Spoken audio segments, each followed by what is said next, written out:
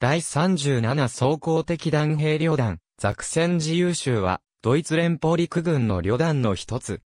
現在は、第13装甲的弾兵師団の霊下にあり、旅団司令部をフランケンベルクに置き、旅団霊下部隊は、ザクセン州とチューリンゲン州に駐屯している。旅団は、ドイツ連邦軍における安定化戦力の一部に指定されている。第37装甲的弾兵旅団は紛争予防を目的とした多国籍部隊での運用と連邦陸軍における安定化戦力の一部として配備される。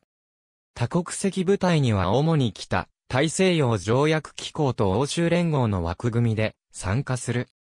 旅団は自国が防衛事態の際には国防の任につき、NATO 加盟国が防衛事態に至った場合には加盟国のために運用される。旅団の歴史は1990年のドイツ民主共和国国家人民軍の解体、統合から始まる。1991年に国家人民軍地上軍第7戦車師団を母体に第37郷土防衛旅団が新編される。旅団の愛称にはザクセン自由州が与えられた。1993年に旅団としては、最初の新兵訓練が開始される。1995年に、旅団は、第37装甲的弾兵旅団に改称され、旅団司令部は、ドレスデンからフランケンベルクに移転される。翌1996年に、第37両兵旅団に改称された。1997年には、オーデル川の洪水のため災害出動し、1998年には、ボスニアでの SFOR 第2次派遣隊に参加する。2001年、第39装甲旅団、チューリンゲンの解散に伴い、第391装甲的弾兵大隊と、第393戦車大隊が編入される。このため、第373高架両兵大隊が、第31空挺旅団に配填される。2001年から2002年にかけてのボスニアでの SFOR 第4次派遣隊は、本旅団が主力部隊となる。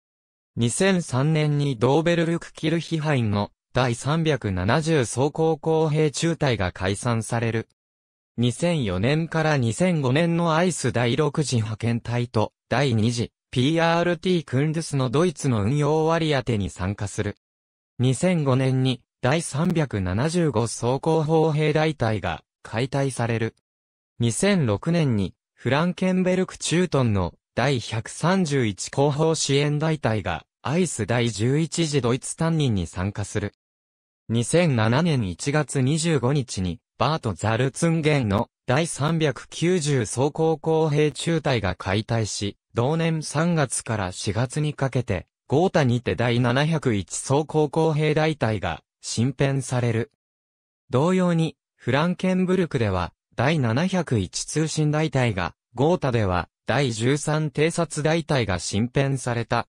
これらの部隊は、以前には、第13装甲的弾兵師団の直轄部隊であった。2007年4月1日に、旅団は、第37装甲的弾兵旅団に改称し、再編成される。これにより、第131整備大隊は、第131後方支援大隊に、第701工兵大隊は、第701装甲工兵大隊にそれぞれ改編された。新陸軍計画に基づいて、さらに再編成が進められる。